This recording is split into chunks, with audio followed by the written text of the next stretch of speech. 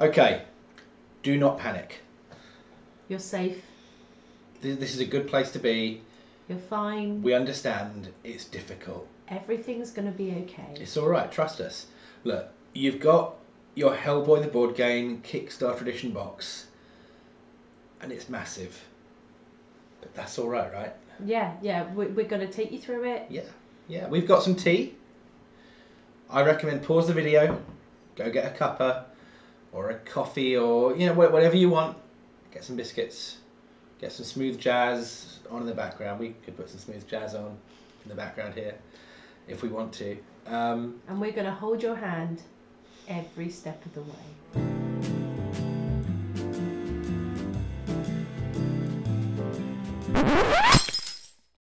okay, it's cool. So you're here. You're good. You're feeling okay, yeah? You got your tea? Good. Important step. Yeah. It's self care is really important. you Yeah. know. Look after yourself. Make sure you're right because you don't want to go into this and not be ready for it. What you've got is a really big box of really cool stuff, and we're going to help you break it down and figure out where to start. Now, the first place to start is to get yourself a copy of this. This is the Hellboy the board game Wave One Breakdown. This is a good thing, right? hmm Yeah. T- tell them what I'll find in here. You'll find a breakdown of every single model, component, card, and everything else that I've forgotten to mention of the big box, Yep.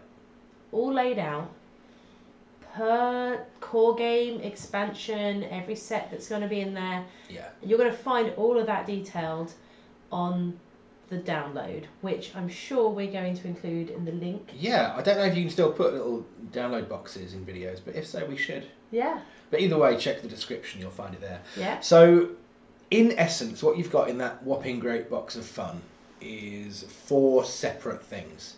You've got the Hellboy core game, hmm uh, which is kind of the equivalent ish, I'll explain that in a minute, of what will be going onto the shelf in retail stores. You've then got two expansions, that's the Conqueror Worm and the BPRD Archives. And finally, you've got all the cool extras that were included in the Kickstarter, but currently aren't planned to go to retail anytime soon. Now that may seem like a lot, but it's okay. We're going to tell you how to go through each step one by one. Drink your tea. It might still be Take too hot. breath.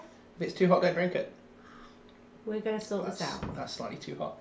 Um, so, first thing you want to do is get all of Your punch boards. yeah, get everything kind of gathered together, and then divide it into the different expansions because this has been printed so that it's easily breakdownable. That is a word uh, for retail.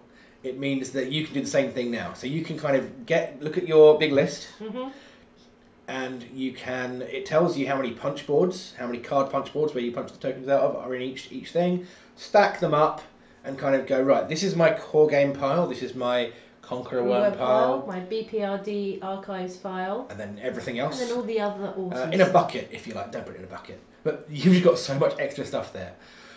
But once you've done that important step Drink your tea.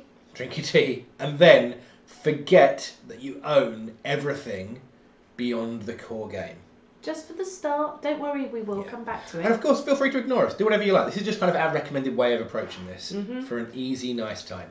So forget that you own anything beyond the core set. hmm I might just add a little extra recommendation at this point though, which is once you've got it sorted into your piles and all your punch boards, you might want to just take everything off of all your punch boards and bag those up into their separate piles. Yeah. That will mean that you can actually close the box properly, which means that just one extra thing has been achieved while you've been unpacking your box. That's good advice. Um, so yeah, so once you've got your core game, uh, look for the booklet that says "Read this first. That's your tutorial. That will tell you uh, how to play through the first few turns of your first game. Uh, it's it's kind of intended as a solo experience. You can do it with a second person. You can do it with a full group of up to four people if you want to. You'll have to fudge it slightly, but basically it's designed for the person who's going to be reading and learning the rules. We all know if you're watching this, it's probably you, the person who There's gets the game. There's always a person who reads the rule book and tells everyone else how it's playing. But did- not always. Sometimes you. But yeah, the person who, who, who reads the rules knows how it goes and they're going to teach everyone else. The tutorial is aimed at them. So in, presumably you read it, play through it, and then when you come to play the game with your friends, you'll know what's Mhm. going on. So play through the tutorial. That will take you halfway through the first case file, which is called Eviction Notice. And if you want, you can continue playing from that point onwards, or stop there and then play it properly when the time is right. The case files, incidentally, you'll have uh, some, uh, around 10, I think, uh, case file packs, little sealed packs of cards with case files in the kind of manila coloured Hmm. typewritten text on the front. Don't open those yet. They all do. They do say on them, uh, you know, don't open them. Uh, but yeah, don't open them until you're ready, and don't open until you come to play each one. The idea is they're sealed. Yeah. And each one of the the core game will have a stack of six case files. Yeah, there's six for the core game, and then, and then two in Conqueror Worm. Conqueror Worm, and then the rest. Well, will be- BPRD archives uh, and the Kickstarter exclusives are a little bit different because the BPRD archives contains the case file constructor deck. Uh, which we'll come on to in a bit. Yeah, totally. So anyway, so you've, you've, you've played through your first case file. At this point, just carry enjoying the core game. Play through the remaining five case files. There's no order. You can play them in any order you like. Um, They do have little recommendations. They say things like easy, medium, and hard. yeah, yeah. Have a look at how, and short. yeah, what kind of game you want to play, and, and play the one that seems most appropriate. Mm. Um, also, if you like, have a look at our FAQ and errata document. There's only, I believe, uh, one serious errata for one of the case files in there. hmm Uh, everything else is just kind of clarifications to questions people have asked us. Have a read of that; it might make things clearer for you. Um, also, check out our other video which we did on uh, target priority and how that Yeah. works. But yeah, play through that, get your head around the game, and once you're comfortable with the core game, you don't have to play through all six case files necessarily. Once you're comfortable, you want to move on to something else.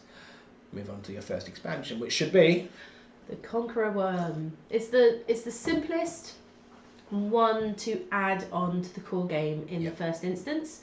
Um, it also adds in two new agents, yeah, um, which you can choose to play or not. You can just stick with your core game. yeah. In, in if you essence, you get uh, Lobster Johnson and Roger the Homunculus. They get thrown into your pool of available agents. Yeah, Similarly, uh, it'll add some new requisition cards. You shuffle those in with the rest of your requisition cards. yeah, Add a load of new deck of Doom cards, which you add to your core set, and so on and so forth. All the different sets have got icons on them. Yeah. All, all the cards which tell you where they come from. And you, you will have used those when you were splitting your sets out into different things. Each So- expansion will have some extra ones for your sort of core deck of doom, Yeah. for your core requisition, and then your deck of doom constructor, which will happen at the start of every case file, might have some more specific stuff, which is also included in your case file. That's what the different coloured uh, deck of Doom icons in the corner of the card. Yeah. yeah, different coloured, and they've also got little symbols for the Yeah. colourblind. Etruscan symbols, if you were wondering. They Mm. are Etruscan. So, Um, uh, so yeah, basically that's uh, yeah. You've got like uh, in Conqueror Worm, you've got effectively two new case files and a bunch of new cards to add into your decks. And if you want to take those cards back out of the decks, it's just a case of going through them, finding the ones with the Conqueror Worm icon, and pulling them out. mhm. So yeah, so then you've got two more case files to play through, and they will use a mixture of the Conqueror Worm components and your core game components. But that's not all. then once you're comfortable, you don't have to have played through every case file, but once you're comfortable and you're you're happy with your new expanded core set, which has the Conqueror Worm mixed in, you can then move on to your BPRD archives. Yep. Now this is where things get a bit wacky. Um, the BPRD archives introduces the case file constructor system. If the main way of playing case files is like a story mode, if it's sort of a video game, the case file constructor is arcade mode. It's Yeah. uh, it's a series of randomly generated scenarios which you'll generate at the start of each um, play session. You don't have to do it with everyone around the table. Again, talking to you, person who's learning the rules or you know and teaching everyone. If you want to construct your deck with the case file constructor before everyone turns up for the night, all the better, right? Go for it. Um, it means there's less uh, less hassle, less pre-game. You can get straight into things. But the point of that is that lets you remix everything you've already got and adds in a whole load of new stuff. So you've got a load of new uh, bosses, minions. Uh, it introduces a new thing called fiends, which are kind of Mm. midway between a minion and a boss, uh, and it gives you lots of different ways to use those. Yeah. But remember, you don't have to do it all in one go. You could just add in one of the agents for your Conqueror Worm, then play a case file, and then once you're comfortable going to BPRD and maybe just make uh, a you know, a constructor deck that's Yep. got all the original bad guys and bosses that you've already played with. You don't have to add in all the new stuff all at once. Exactly. Think of this big box as a toolkit. There is a lot in there which lets you just kind of play the game you want to play. hmm And yeah, we're just giving you the one recommended way of doing it. So once you've gone through the BPRD archives set, and again you're comfortable with what you've got there, from that point onwards you can really just go where you like. Because by then, hopefully, if you followed this this guide, you will have a really solid knowledge of how the game works, what kind of games you want to play, Mhm. what everything does, and you'll have got used to the notion of remixing the game slightly by putting new things in. So in the BPRD archives, sorry, the Kickstarter extras bundle, that's the everything that's left.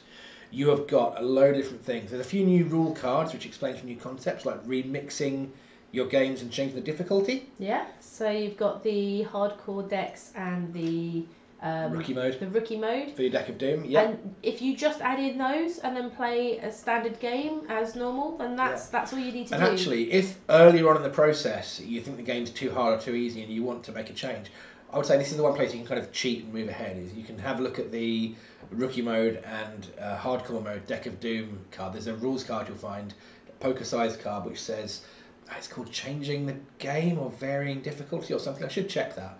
Um, but you will find that card, and in fact, I can check it now, and it will tell you how to make your game more easy or more difficult. Uh, it is called difficulty settings. There we go. I printed it out. That's preparation. See. Um, so yeah, basically, you with that you can add in all sorts of new stuff, and the joy of the case file, yeah, case file constructor deck is that the game becomes endlessly replayable, and Mhm. everything you add in adds more stuff. So what you'll find with the Conqueror Worm, when you play the Conqueror Worm expansion, when you look at that, there are a few cards you won't use straight away because those are for the case file constructor. Put those to one side when you're playing the Conqueror Worm.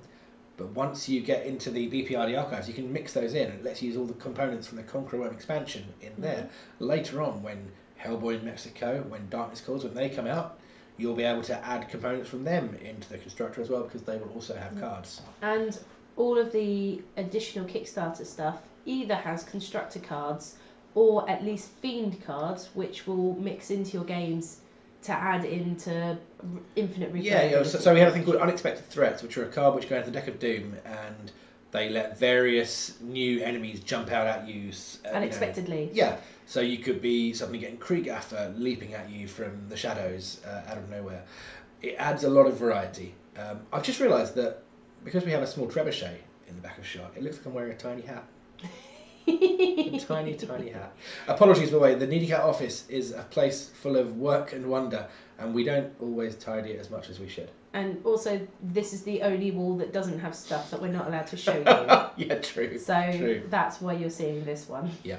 So yeah, that's that's kind of our, our guide to having a fun time and chilling out and just enjoying Enjoying the it. Hellboy Big Box. And Also, make remember lift with the knees, not the back. It's quite hefty. it is quite hefty. And remember, there are certain rules cards in there and certain models. You don't have to add it all in one go. Things like the ominous bird. They're just a cool. Sinister extra- birds. Oh, We sinis- changed the name. They were ominous birds Sinister originally. birds Sinister birds. uh, are not a thing you have to include, but they're just a thing that change the way the game plays in a slightly different way make it a bit different. Yeah. Some case files you do have to use those. But yes, but it explicitly Yeah, states that. exactly. You The, the, the, the main key thing is don't open the box, look at it in horror, and try playing it all at once. You might actually die. or explode. Please don't do either one of those things. And remember, every time it gets too difficult, go get a cup of tea and then come back to us. Uh, if you have any questions about the game, you can contact us uh, through our website. That's needycatgames.com slash contact. Um, also, if you'd like to know a bit more about how we design games, we're actually currently running, well, preparing to run a three-part series of courses on tabletop game design. If you like Hellboy and you think we know kind of what we're talking about, um, yeah, we're running these in Nottingham uh, on the, let me get this right, the 18th of May, 22nd of June and 20th of July. hmm Uh, they are a full day event. They feature a mixture of theory, Theory and practice. workshops. Yeah, We'll be encouraging you to bring your prototypes along so that we Yeah. can do live playtesting and feedback. And, and if you haven't got one, that's fine because the first session we will help you make one. yeah, It's going to be a great day um, for each one of those sessions. Some people are coming along to all three. Some people are just picking and choosing the ones that they Yeah. want. So you can check that out at needycatgames.com slash events. That's it. Um, and lastly, if you appreciate us uh, putting together these videos and you appreciate uh, the the time we've put into making sure that we've got an errata and an FAQ, and you'd like to say thank you, we also have a Patreon, Yeah. um, and we'll also be putting the theory part of all of our um, games design courses onto our Patreon after we've done them. So. Because all, all this stuff, we just do it because we want you to have a good time. We don't Exactly. pay for these videos or anything. We just we just like making sure everyone's enjoying the game we've written. Exactly, and uh, we want to make sure that you're having the best experience. But if you'd like to, uh, to join our Patreon and back us there, that would be really appreciated hey, well. if we get enough backers, we might get better audio equipment and video equipment, so we can we can make better noises on videos. Yeah. We are we are currently looking into doing a podcast. It's a, it's a thing we've we've reached a goal. We're going to do a little podcast and talk to some people who work behind the scenes in the games industry, uh, including hopefully some people that have worked on Hellboy. So check that out. Is, is that is that all we've got to talk about? Yes. We've rambled for way longer than anyone needed to know. The content ended several minutes before this point. I've nearly finished my tea. Yeah, so have I. We better go. We should go.